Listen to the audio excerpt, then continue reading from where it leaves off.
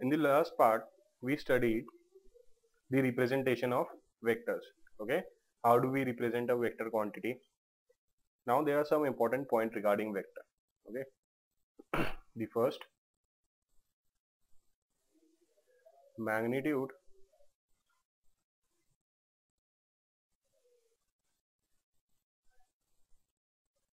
and direction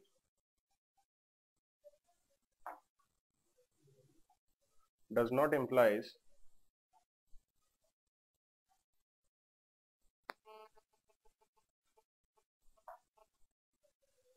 that the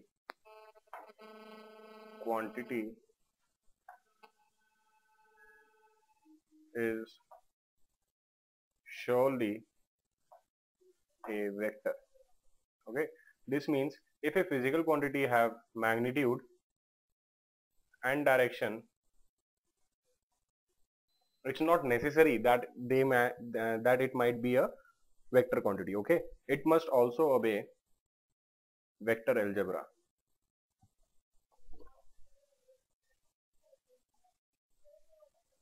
Vector algebra must also be obeyed. Okay? Now let's see direction in a circuit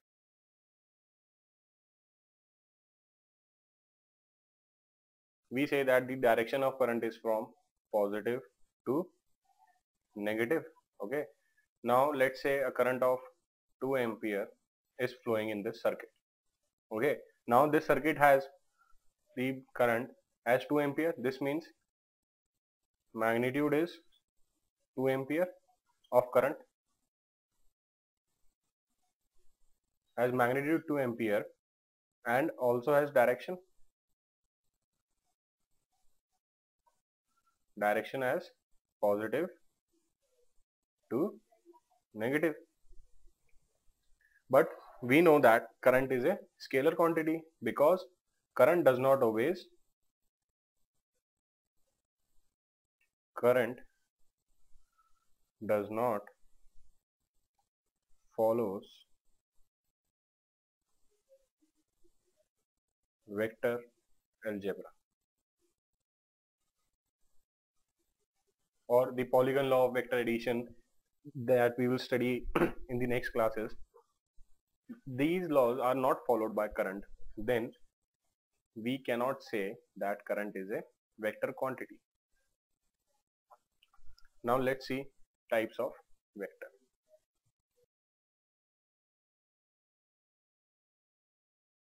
The first one is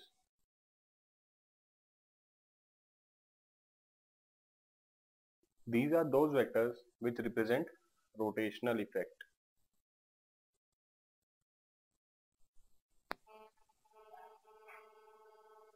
These are those vectors which exhibit rotational effect okay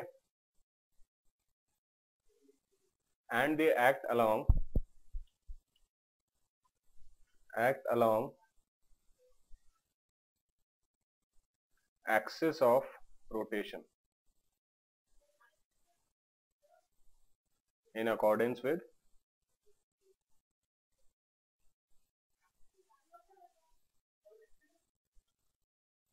right hand thumb rule.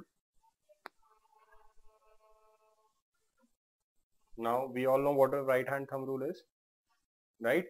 So the act axial vectors exhibit rotational effect and they act along the axis of rotation in accordance with the right hand thumb rule. Okay. For example, let's take an example of axial vector as angular displacement is ex exhibit rotational effect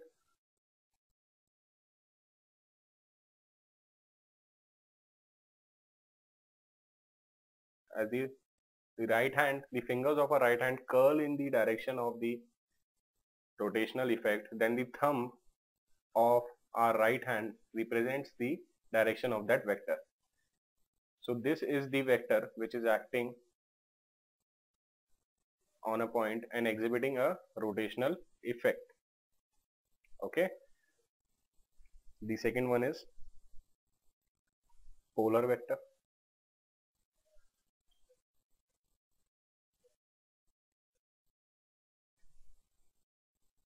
these have a point of starting.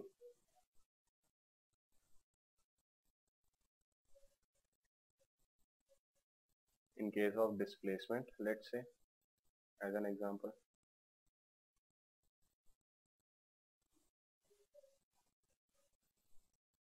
Or a point of application. Point of application. In case of force. Now let's see. Everyone knows how displacement and force acts. Say this is the starting point. Starting point. Okay. And this is the final point. Now how do we represent a displacement in this case? By joining initial and final point by a straight line and representing it like this. Okay? So this has point of application or a starting point. Such vectors are known as polar vectors. Let us see a point of application also. Let's say this is any block of wood kept on a horizontal surface then let's say if we apply a force then we have to show the point of application in order to represent a force. So a force have a point of application hence it is a type of polar vector. The third type is null vector. Null or zero vector. These have magnitude as 0. Magnitude is equal to 0 and the direction is indeterminate.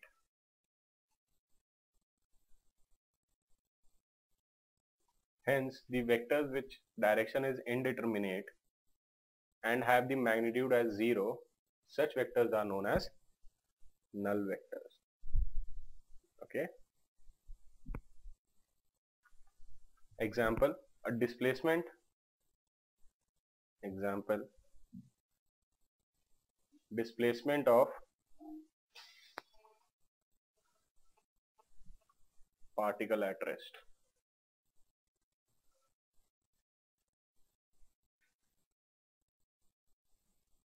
The displacement of particle at rest represents a null vector as its magnitude is 0. We know that if a particle is at rest, it's not moving, hence the displacement will be 0. But in which direction? The direction is indeterminate. Hence we can say that such null or 0 vectors which have magnitude as 0 and direction indeterminate. Okay.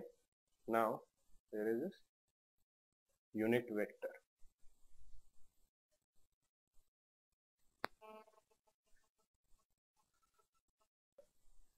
It has magnitude the vectors which have magnitude equal to 1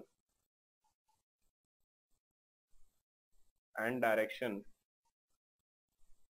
same as the given vector okay? Same as given vector. Now what does this represent? Same as given vector? Okay unit vector is never having its own direction okay we will never see a unit vector alone. It will be given that unit vector in a direction of some vector. Okay? Let's say we find out unit vector okay? It's we represent a unit vector is a cap okay? This is the cap. So it is represented as a cap or a caret okay. If I write like this this means b cap or b caret.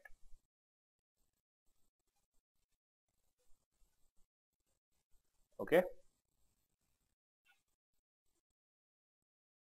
Now let's see. In the direction of a vector unit vector is given by a cap is equal to the vector a upon the magnitude of vector a. Is equal to vector upon its magnitude okay? The direction of a cap will be same as a vector okay students this was unit vector.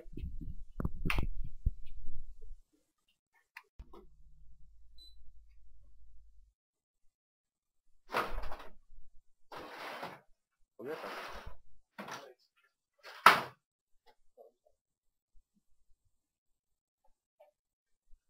in order to define a physical quantity they are classified in two categories. The first one is scalar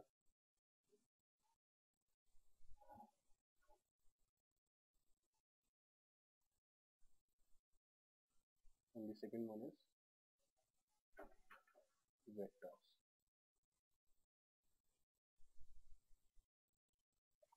Now the scalar quantities are those quantities which can be defined with the help of their magnitude. This means scalars have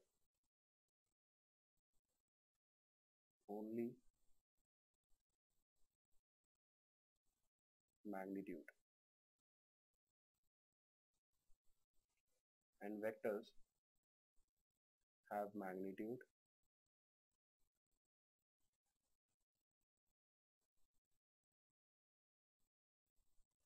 direction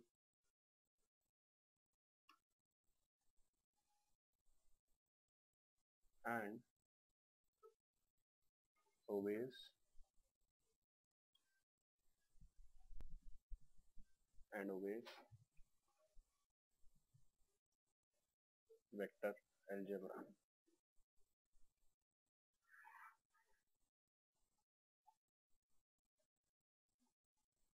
Now this is the mind map. So let's see.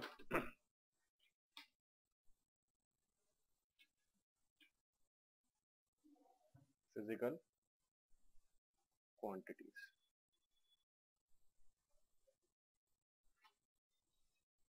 They are classified in two types. The first one is scalar and the second one is vectors. Okay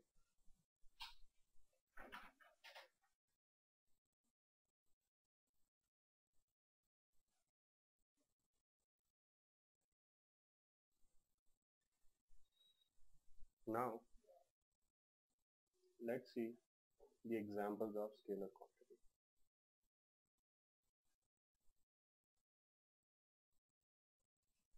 First of all time. Time is a scalar quantity because it is independent of any direction. If say in y direction y direction 2 seconds means 2 seconds in every direction. This means time is independent of direction hence we can say that time is a scalar quantity. Okay. Now let's say what is vectors? We needed magnitude and direction magnitude as well as direction to define a vector. So let's take an example as force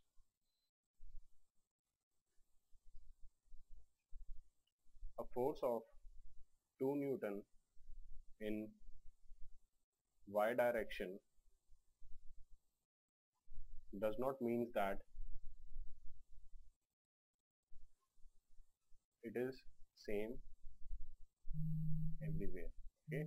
This means a force of 2 newton is only in y direction. Let's say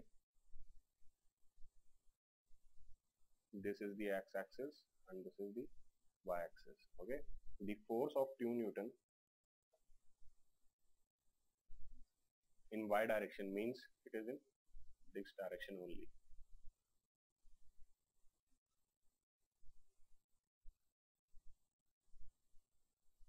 this is in this direction only.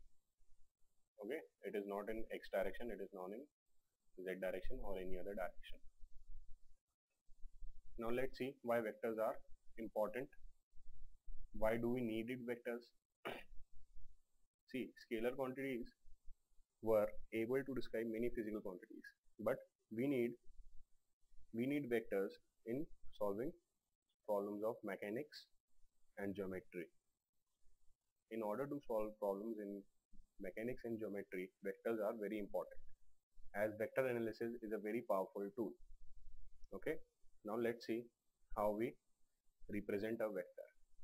Representation of vector.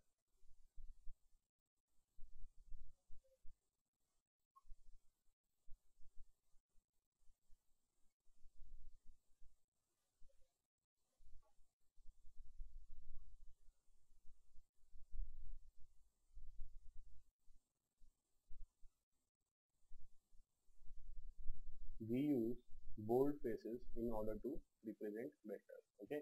Now if I have to represent a vector then this is the normal way. And if I have to represent a vector then how I represent it? In bold okay? This is bold A. Now as you see it is very hard to use this bold A, this bold A in our regular practice. This is bold face.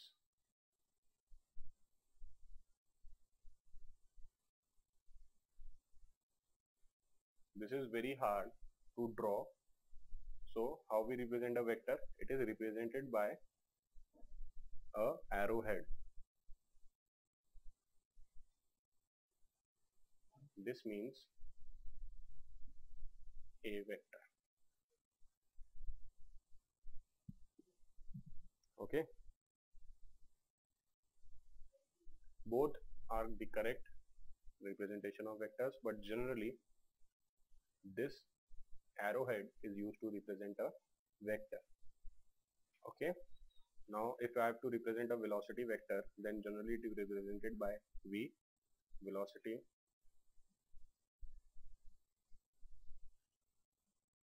is represented as v vector. This is how we represent a vector.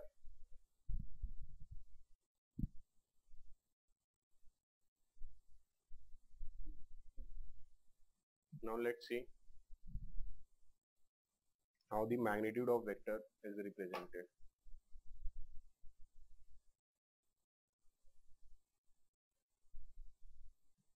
The absolute value of vector any vector let's say this vector we have to find out we have to find out the magnitude of v vector.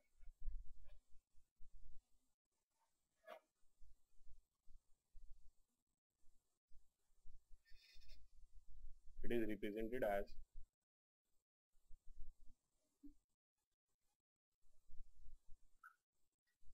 or the absolute value of vector v. Okay? Now let's see some properties of vector.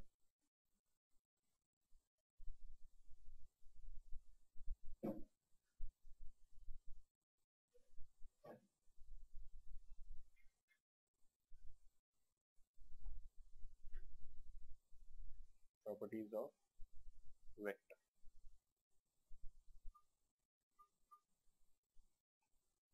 the first property is along with direction and magnitude okay? Sorry in in addition to magnitude and unit. This have magnitude and unit. A vector must also have first of all direction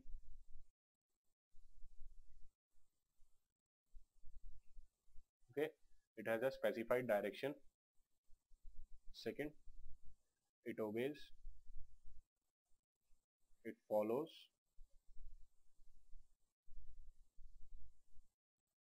Parallelogram law of vector addition.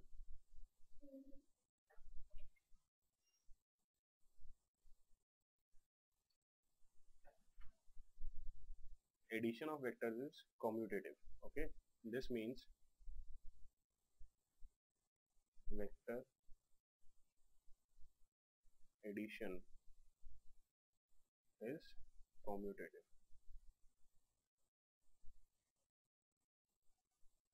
Okay what does this means?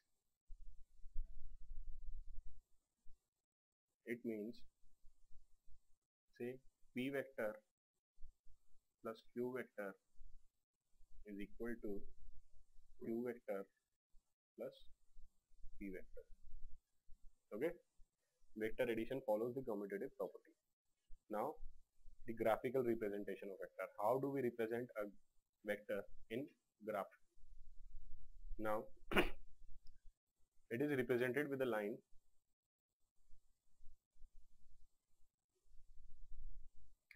Graphical.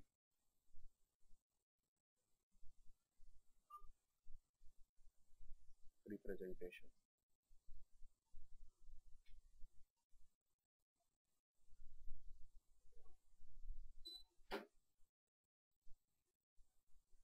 is represented by a line with an arrow head okay? Let's say this is any line. It is represented by this arrowhead okay? This is the arrowhead. And the length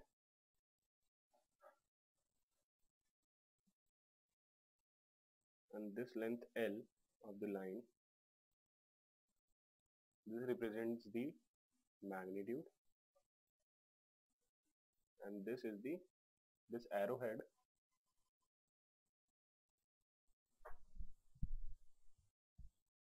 This arrowhead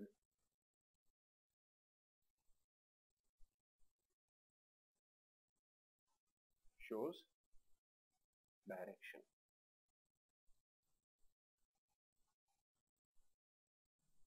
so the length of the line which we draw represents the magnitude and the direction is given by the arrowhead okay?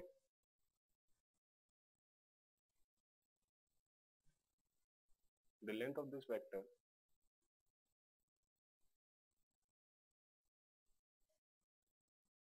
the length of this vector let's say L1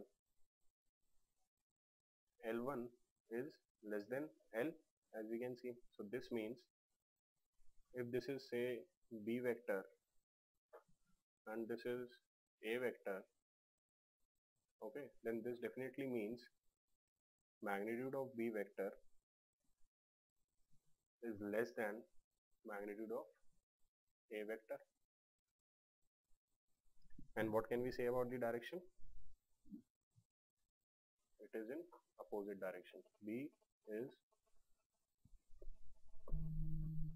opposite to A. Okay? Now let's do some example.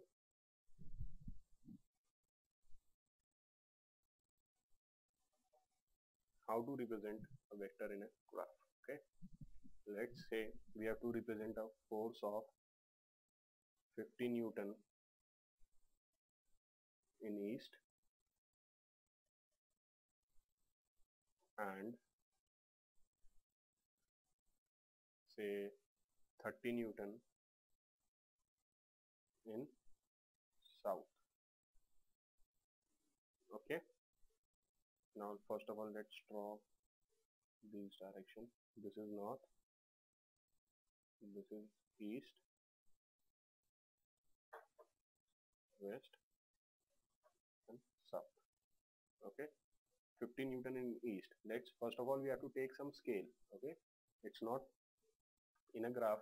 Just as we take the scale we take 1 centimeter say equal to 10 newton okay?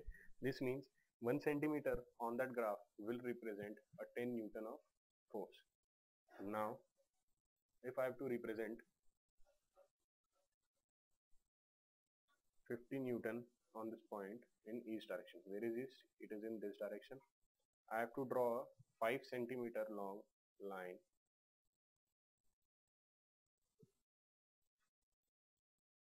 In order to represent this 50 newton vector. Okay. this is in east direction and this is 5 centimeter. And 1 centimeter is equal to 10 newton. Then 5 centimeter is equal to 50 newton. And it is in east direction. So this is the representation of 50 newton in east. Now I have to represent 30 newton in south. So south direction 3 centimeter line